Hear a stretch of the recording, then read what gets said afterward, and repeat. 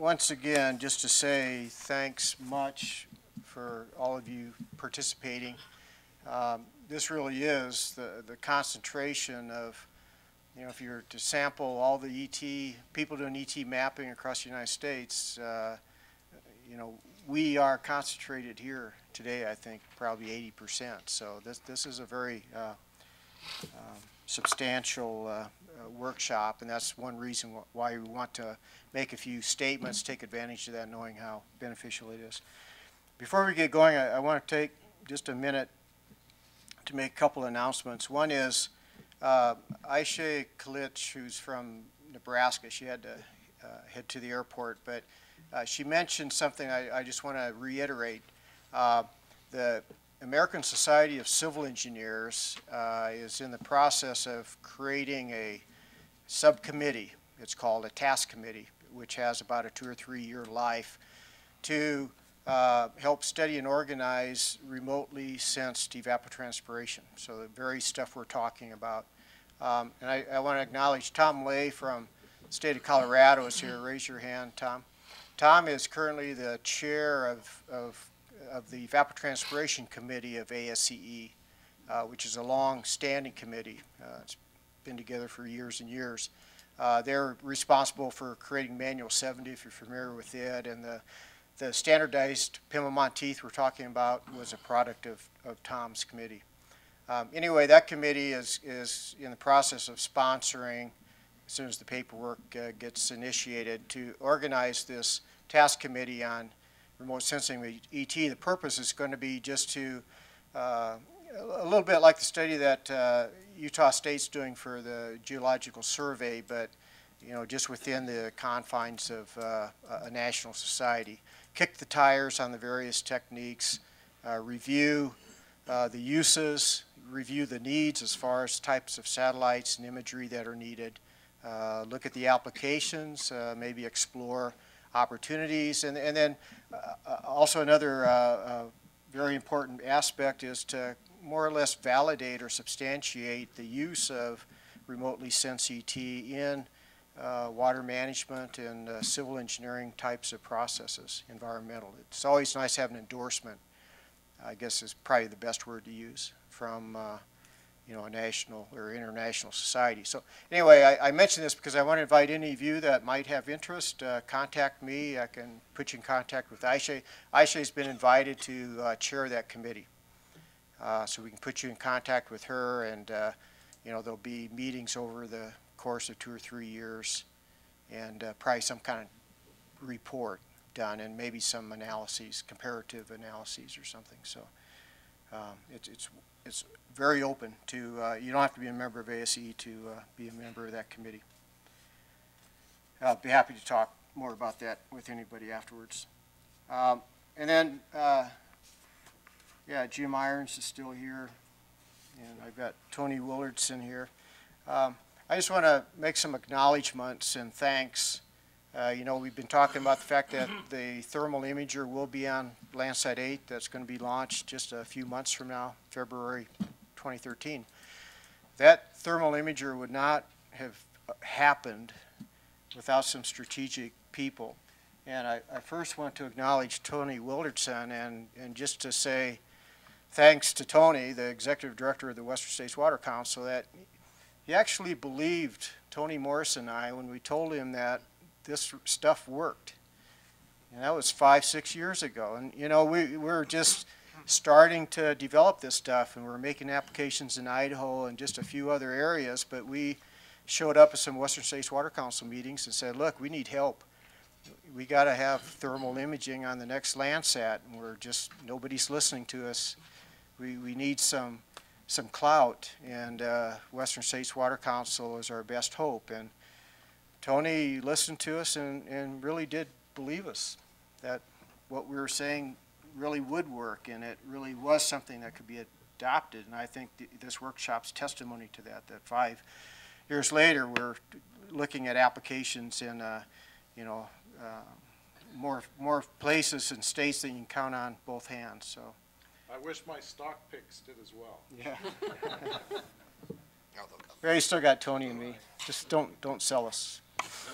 Um, And then I, I want to, Tom Loveland had to fly out already, but I want to acknowledge Tom Loveland, who's with the U.S. Geological Survey. He's the uh, uh, science leader for the Landsat program.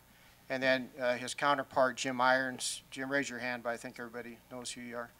Uh, Jim Irons is a counterpart at NASA Goddard Space Flight Center, and Jim's the lead scientist on uh, Landsat 7 and the LDCM, but now you, you're, you have a different title, which is, Well, I'm, I'm still the LDCM project side. okay, I have another job too. okay. Okay, and, and the same story that Tony and I visited Jim Irons' office at NASA Goddard, what, two thousand three, maybe, or four?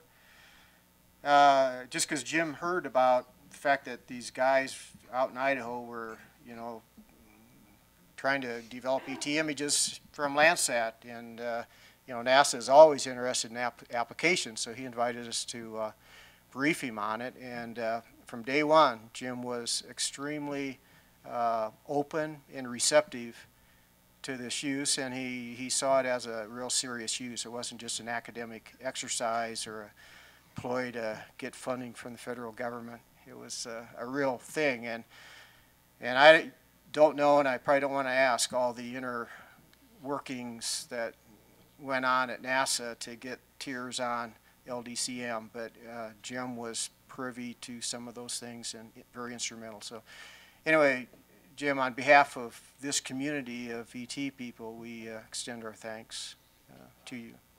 Thank you, Rick. I- I'm just one of, uh, uh, quite a number of people at uh, NASA and Goddard Space Center who really, uh, worked very hard to make, uh, TIRS a reality on a very tight schedule.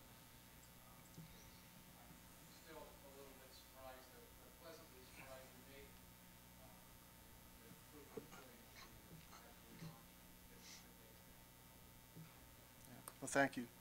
Yeah, I, I mean, there were some in NASA, I think it would have been easy for them to say, look, uh, this decision just got made too late, we don't have time, but, uh, uh, How NASA many Goddard, times did we hear that?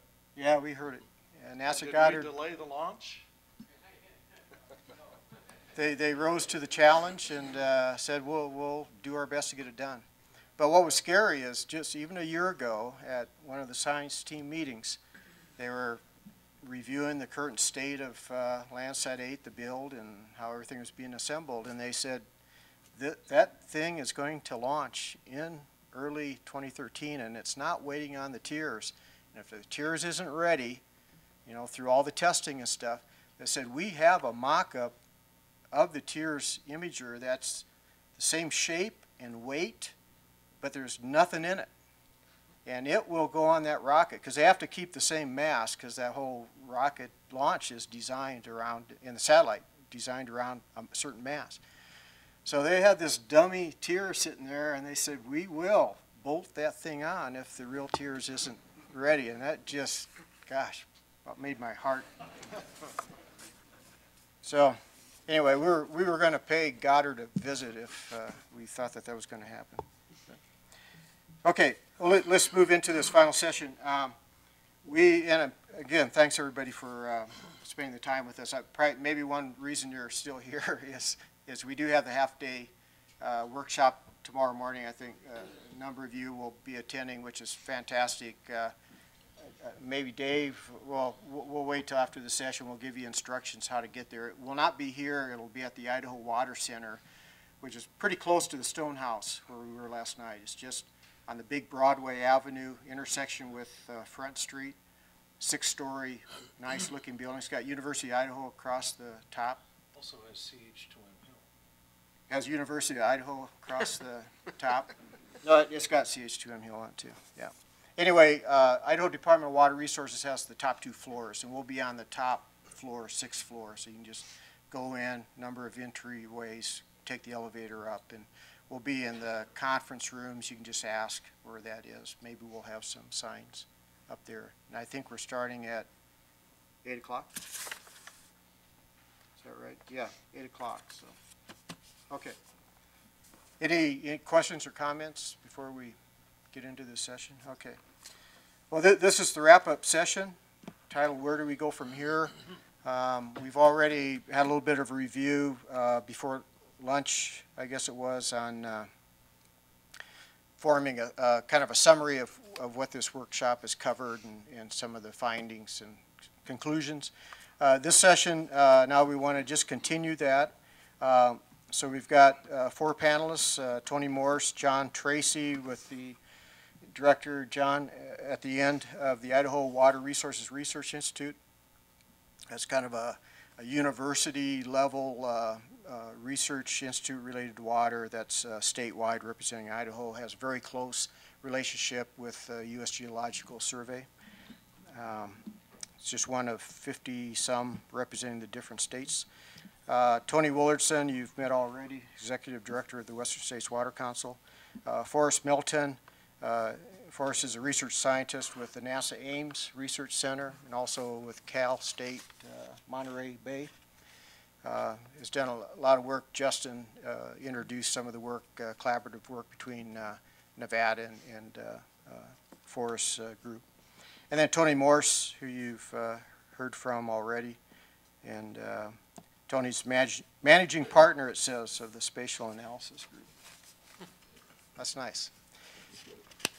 Okay, so I'm going to turn it over to these guys. Hopefully, um, we'll have plenty of time at the end to uh, formulate things. Tony's got a uh, uh, kind of a template for an email that uh, we're going to uh, run past all of you as kind of a summary of uh, what we would like to see from the next Landsat, future Landsats. So with that, um, I'll just let you guys decide who wants to go first.